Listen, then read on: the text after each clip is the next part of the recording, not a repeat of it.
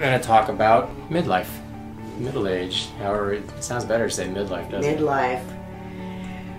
Yeah, it's still a shocker. Let's put it that way.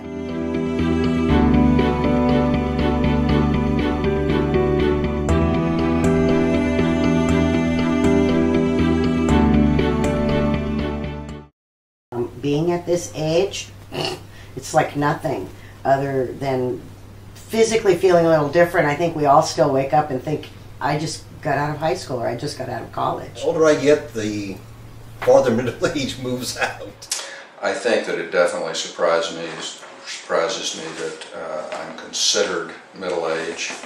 I physically I feel a lot younger than my chronological age, which is 62. I've had friends go, "Why do you want to tell me how old you are?" Well, I, damn, I thought I'd be dead by now. You know, all the partying and stuff that I've done in my life, I, I didn't think I'd even be here right now. So um, I'm very proud of the fact that I'm healthy. I'm here. I'm still doing it, and uh, outside of being maybe a little sore once in a while, um, you know, muddling through. I don't think uh, middle age it means the same thing now as it did 50 years ago. you asked how old I was, and usually I don't tell people because as soon as I say 60, they like put me in a little box and say, "Oh, well, then you don't, you know, you don't have sex, you don't do that." You know, it's Right, like right. you're, you're like off the ball. Actually, I would probably rate myself at about 48. Okay. I I don't think my mental acuity has gone downhill, so I um, I look at what I perceive as an old person. Um, I f- for, uh, I believe that as long as Clairol keeps making dye, um, I'll, s- I'll still feel young when I look in the mirror. How about you? Eh, most days I feel like I'm in my 40s. And I know I've gotten a hell of a lot better over the years. Attitude, behavior, you know, wellness, feeling good. And again, a lot of help from uh, my uh, hairstylist. Yes, Those colors were just, God bless chemistry. yeah. That's the case almost across the board for older folks, um, no matter how old. They don't feel like their mind activity and set has really changed, you know, that it's hard to age with your body. Sure. You still can be a silly teenager, you know, at 80 um, in certain ways. Yeah. Yeah. Or it, it's not that events really change much uh, in terms of you know life just keeps happening, Right. but uh, for I think it's more your perspective or your attitude about how you're living your life. Uh, As far as from a corporate uh, point of view, I feel they're beginning to see that um, I am indispensable now. And uh, they're looking for a younger, fresher idea. I'm a little surprised that at 61 to feel as old as I do and still have struggles with depression, that that's not gone, um, that um, my body is starting, because I was always big and strong and did a lot of, you know, from logging to commercial fishing in Alaska, all over, doing hard things, and so it's hard to uh, live in this body that's become a lot frailer. Sure. Jo- joint problems and things um, already kicking in. Whereas you think as older person, maybe 70 and older, you know, by the time I hit 60, my body's starting to fall apart.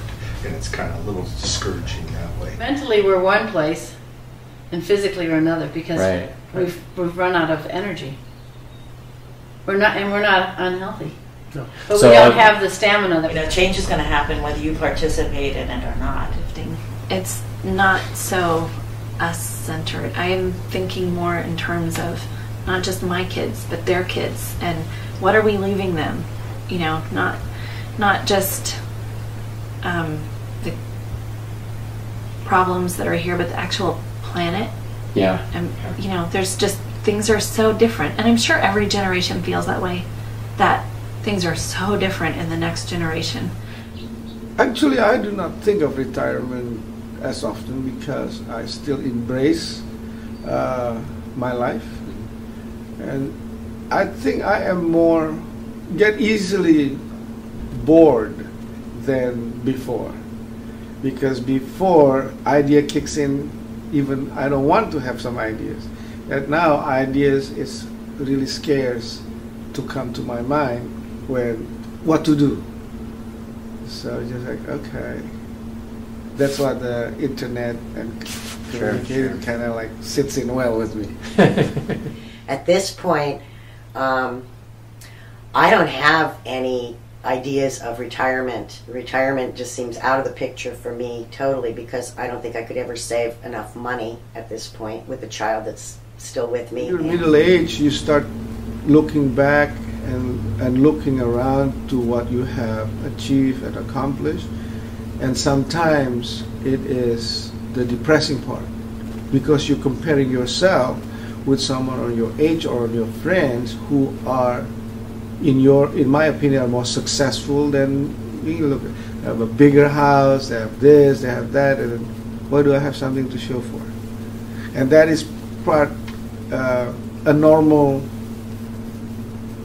way of thinking. I'm kind of looking forward to this. You know, as long as I can, like I said, I got to stay healthy, keep taking care of myself. But I'm really looking forward to what the ne- what this next piece is going to look like because I really don't have any idea. So this is a new starting point for you. Totally new start. You know, now that I've done all those other things, I'm ready to make some money.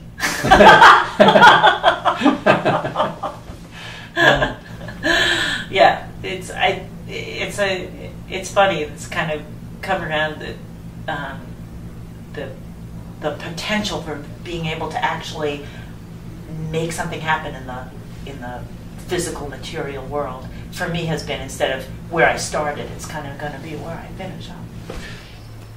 It just uh, it's it's just an interesting topic that I hadn't really spent a lot a lot of time thinking about comfortably Uh-huh. because um, you know, aging, dying, de- denial, those all seem to go together pretty well for me. Uh, uh, but uh, I, I I don't think that's particularly healthy, and it's fine. It's it's it's actually starting to I'm starting to feel more uh, a bit more at peace with just the concept of whatever it is that's you know going to happen after what I thought was going to be the end, Yeah. or the downhill part. uh, yeah, it's a lot, lot more, lot more interesting and rich. Um, so, thanks for uh, for raising the question.